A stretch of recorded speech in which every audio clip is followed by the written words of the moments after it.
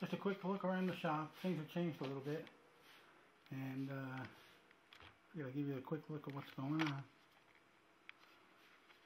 So uh, I'm curious to see if you guys see any difference in the camera quality of what you see, how it looks to you guys. So I moved the big printer over here. Used to be over there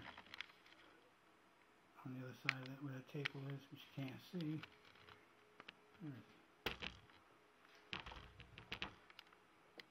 Table over there behind that chair. Used to be over here. Move the big printer to this side. And uh, all that good stuff. Also sold one of the uh,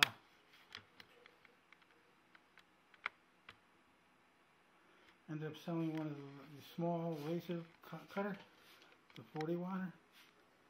This was some prints made a while ago. Cameras were working on. And the printer that was here we sold. And uh, like that.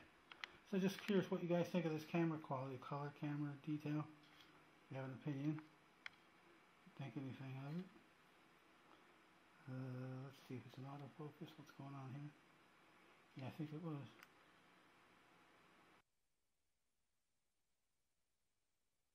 convert a DV tape to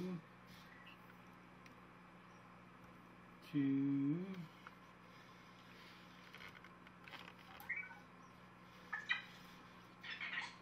Uh,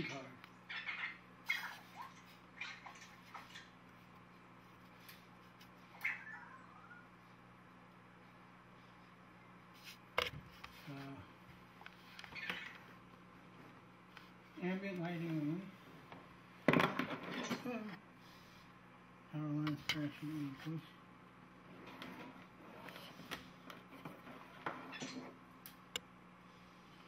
Alright. So let's see how this does. We're going to give this a test in about a minute.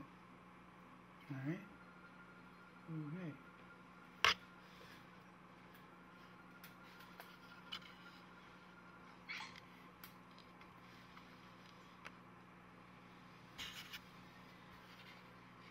autofocus on. There it goes. Alright. Out for now.